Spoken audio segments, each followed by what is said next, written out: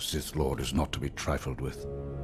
And I will not be there to protect you, my old Padawan. You need not worry, Master. Obi-Wan fills that role now. He acquits himself quite well.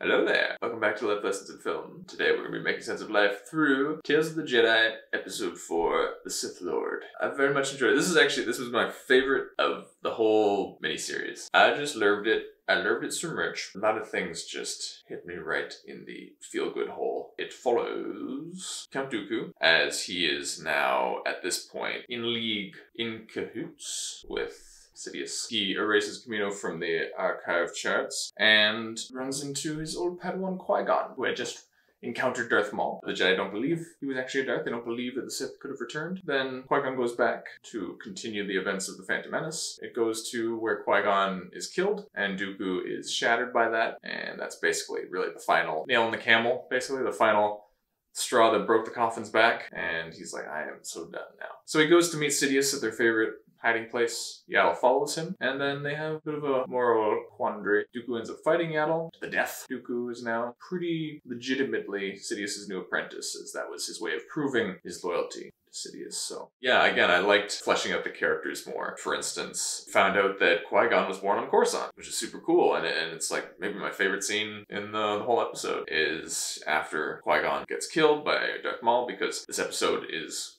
happening in tandem with the Phantom Menace, just from different viewpoints, which I also thought was very cool. I used to bring Qui-Gon here as a boy.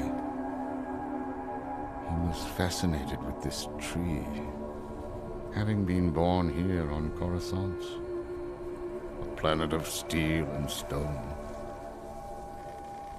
He knew nothing like it.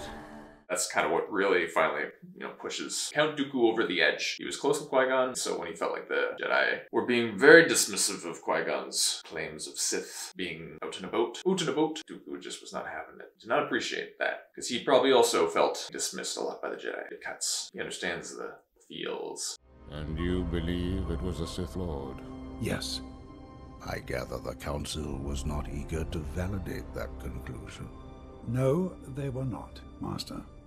I've been warning them about the coming darkness for years. Never to be taken seriously.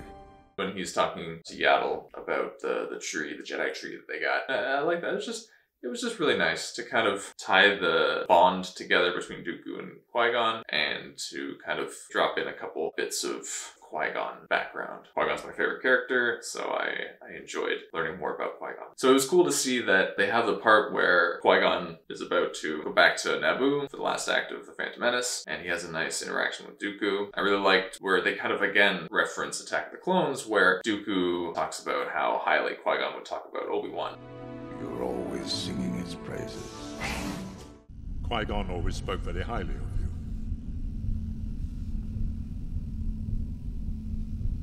I wish he were still alive. I could use his help right now. Which again was kind of just like a an added nice touch, an added texture. It wasn't super crucial dialogue for the movie, but I like that they were able to take that and kind of expand on it. And I liked seeing Yaddle and Dooku reminisce about how quickly their apprentices grow up. Master Dooku, are you all right? They grow up so fast. Our students. Yes, it is the way of things. Indeed.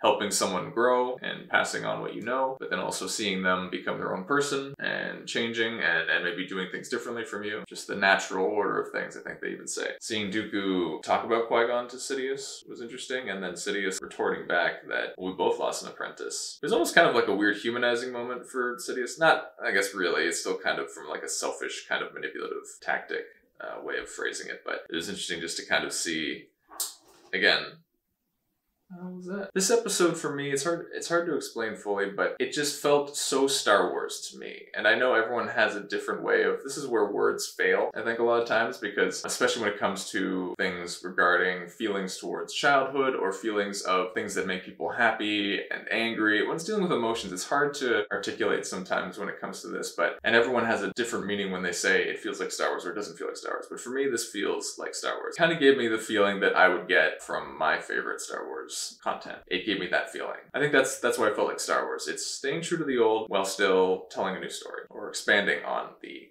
already existing story. And I think maybe that's my definition of what feels like Star Wars, you know? The conflict with Dooku was, was interesting. Going back now uh, at the, the clips of Dooku and Attack the Clones, I'm actually seeing now more conflict in him than I'd ever really noticed before. How remorseful he does seem and regretful at times when it comes to the things he's doing in the movie. What's cool about Tales of the Jedi that I like, instead of undermining pre-existing lore and content, it is truly expanding it and also making me understand pre-existing stuff more. Like now I look back at Attack the Clones and I notice in all the ways that Count Dooku was more of just wanting to do the right thing. And he's regretful of maybe some of the decisions he's had to make. And he's regretful of some of the decisions he's had to make. And, you know, still kind of feels that somewhat of a connection towards a lot of the Jedi that he used to serve beside. So this show is making me see stuff that wasn't Attack the Clones, but I just never noticed before.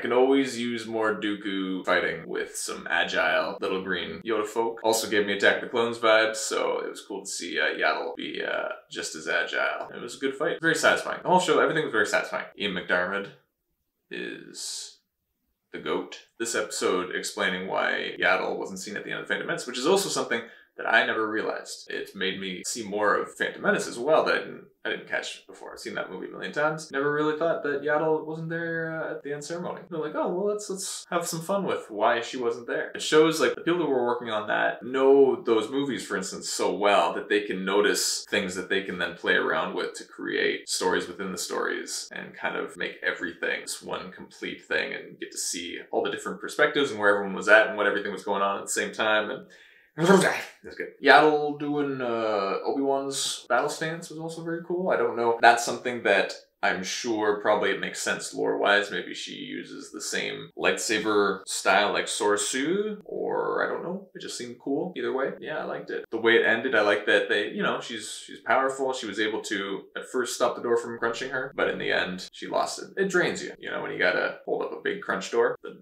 kind of door that'll just mash you to bits. It takes energy to stop a door from doing that to you. So I like that at the end she's just plopped. Episode 4 of Tales of the Jedi is in my opinion the most Star Warsy thing I've seen since probably some of the lost missions of the Clone Wars for me. It rang true, that bell, that knell, you know? Hitting that knell, making that knell sound of the bell. Overall it was just... Mm. Pleasing. But that was some stuff that I thought of fourth episode of Tales of the Jedi. What do you guys think of that episode? Let me know. Share your thoughts in the comments below. We'll have a discussion. Till next time, it's real.